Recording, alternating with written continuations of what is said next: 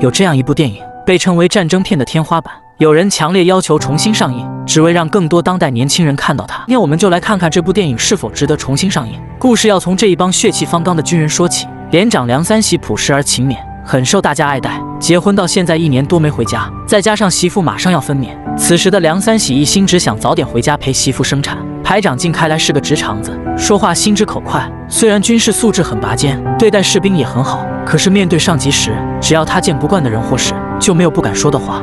一个吃牛奶长大的，一个吃地瓜干的长大的。咱们这些吃地瓜干的长大的，就是一天擦上三遍雪花膏都去不了这个土腥味儿。你呀，你连那个人样子都快变成地瓜了，一点不错。半截缸打地夯，麻袋里边装谷糠。而新来的指导员赵萌生则是个地地道道的关系户，母亲托人把他调到连里，只是为了走个过场，镀个金。而家里还有个一心等他回去的媳妇。在指导员的就职欢迎仪式上，连长梁三喜的一番话却让他十分尴尬。这是新调到我们连的赵指导员，大家不要有什么误解。赵指导员既不是到我们这儿带职锻炼，更不是来体验生活，是组织上正式任命他为我们九连的指导员。连队里。大伙生活都很粗糙，而这位娇生惯养的指导员却在这里显得格格不入。连队组织拉练时，别人都是全副武装，他却把所有装备都给了小柱子，这便惹得靳排长很不高兴。就你这个懒散劲儿，三天，我要不把你这拉稀了，算我不是靳开来。赵萌生每天看着日历，盼的就是那能让他离开这里的调令。随着时间的流逝，靳开来越来越看不惯这位新来的指导员。他奶奶的！哎，只要是共产党做天下。这个老娘们要胆敢在部队上前线的时候，把你这个花花公子给我调回去。你看着，我要不自费上北京告他去，我就不是金开来。三个月后，赵萌生受不了这里的生活，催着母亲赶紧把他调走。然而此时的边境上，越南小鬼子却在不断挑战我国的底线。萌生，调动之事已见眉目，师里答应着急办理。你一旦接到调令，务必尽快离开连队。据可靠消息，你们军最近将有重大行动，此属绝密，你自己心中有数即可，切莫声张，切莫瞎传。赵萌生害怕上战场，调令是下来了，但是部队正要开赴前线。当连长梁三喜得知指导员赵萌生要当逃兵时，愤恨地说道：“滚！现在你就给我滚蛋！养兵千日，用兵一时。”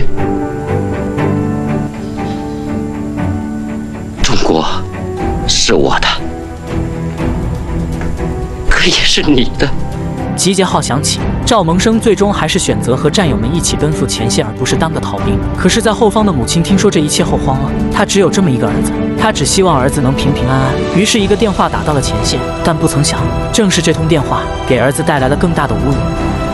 有这么一位神通广大的贵夫人，了不起呀！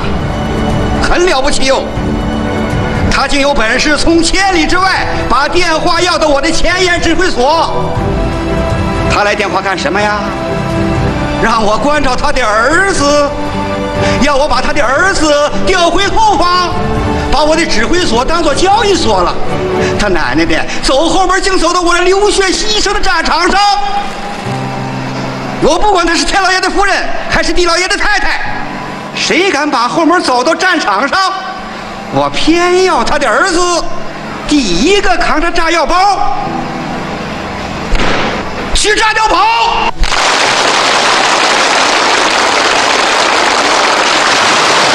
这一次的羞辱让赵萌生抛弃了懦弱，男人的血性在这一刻被彻底激发。他当着全连战士的面怒吼道：“从现在起，谁要是再敢说我赵萌生贪生怕死！”我跟他，跟他刺刀见红，是英雄是狗熊，咱们战场上见。这也让九连的战士们对这个平时娇生惯养的指导员刮目相看。而后连长宣布了上级赋予九连的任务，靳排长也被提为副连长。临上战场的最后一晚，大家吃着象征团圆的饺子，喝着送行的烈酒，说着诀别的话。来，烈士领进。战场上，九连的战士们个个英勇无畏。当他们打退敌人，来到敌人的阵地时，映入眼帘的却是一袋袋写着“中国制造”的大门。真的是应了那句：“二百个亿养个狼崽子，他奶奶的！”因为敌人切断了所有水源，战士们极度缺水。如果再没有水源，九连的战士们将会全军覆没。副连长靳开来看不下去了，我就不信，他奶奶的，二百个亿换不回来他一捆甘蔗！他冒着危机的风险，带人去山下砍甘蔗。甘蔗是砍了回来，可靳开来却在回来的路上踩到了地雷。胖子，让大伙吃甘蔗。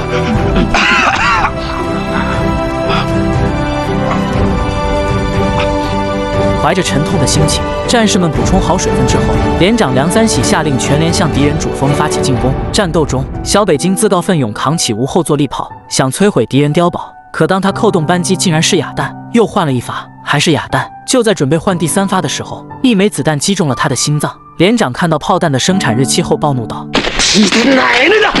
随后，连长找了一颗好弹，架起炮火炸掉了敌人的碉堡。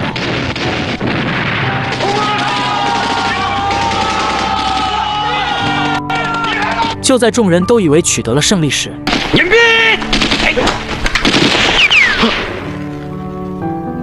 连长为了掩护赵萌生，不幸中弹倒地。战士们爬到连长身边，呼喊着：“连长，连长，连长！”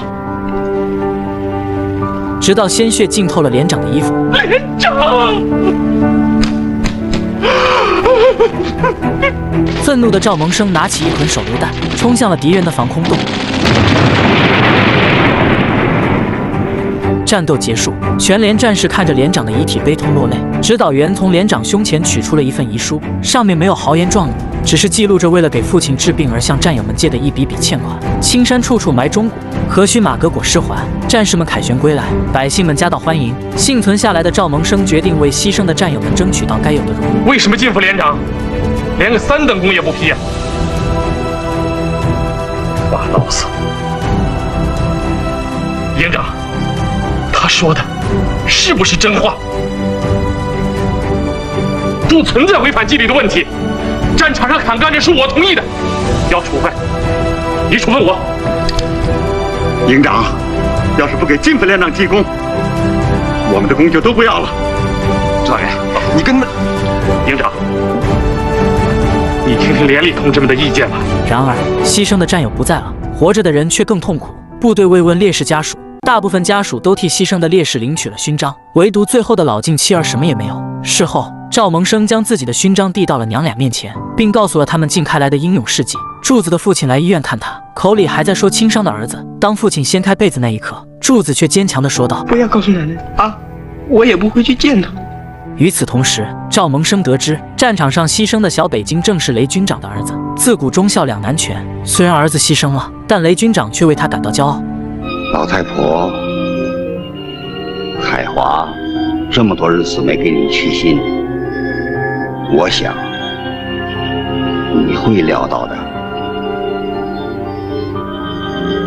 我禁得住，你也该禁得住。海华回不来了，孩子牺牲。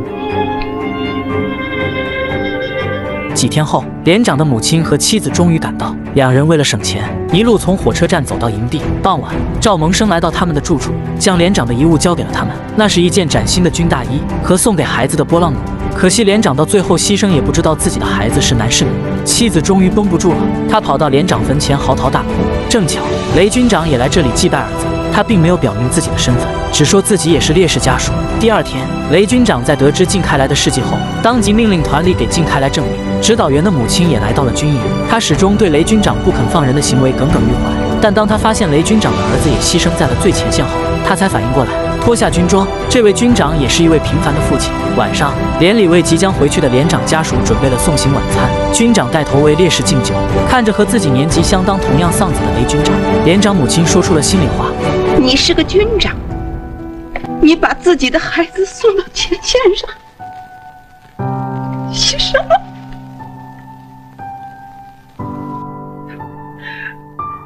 我哪怕就是看到了这一个，我总算是看到了。